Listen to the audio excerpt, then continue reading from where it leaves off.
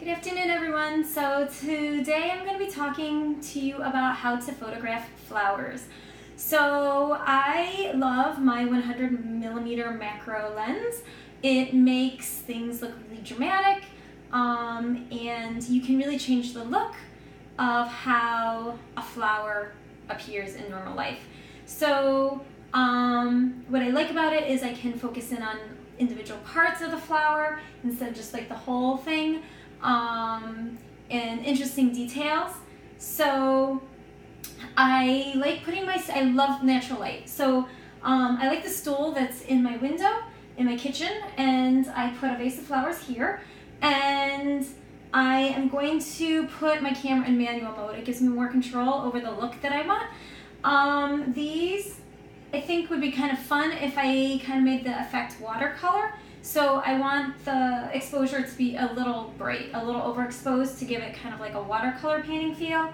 Um, so I set my ISO at 400 and at the moment my f-stop is 13. So anyway, um, I'm going to try different angles. Um, so shooting from below, shooting from above, from the side, and focusing on different features of the flower, like so. So,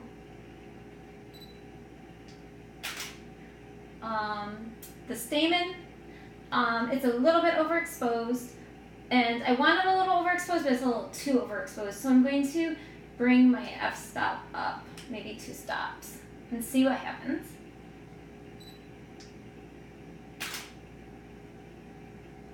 And I like that better. But if you can see, it's still really nice and soft, like a watercolor painting, um, which is the effect I'm going for today. So I did like a side photo.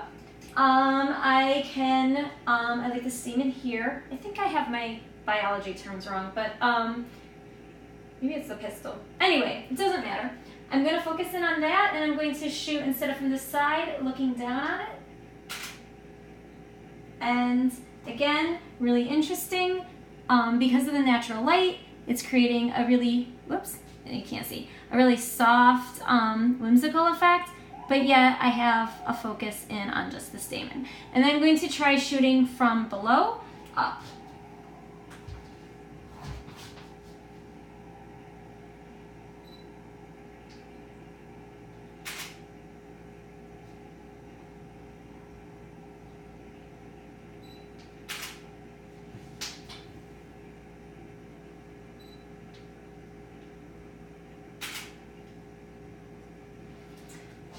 Um, again, so these are from below. Let me see if I can bring my camera, ah, want you guys to see closer.